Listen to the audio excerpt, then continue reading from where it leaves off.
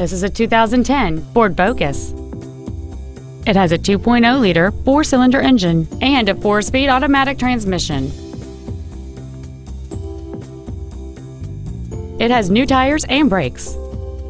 Its top features and packages include the appearance package, a multi-link rear suspension, a low tire pressure indicator, Sirius satellite radio, and traction control and stability control systems. The following features are also included aluminum wheels, air conditioning, cruise control, a four-wheel independent suspension, a rear spoiler, a passenger side vanity mirror, a security system, an anti-lock braking system, a split folding rear seat, and this vehicle has fewer than 41,000 miles on the odometer. Please call us today for more information on this great vehicle.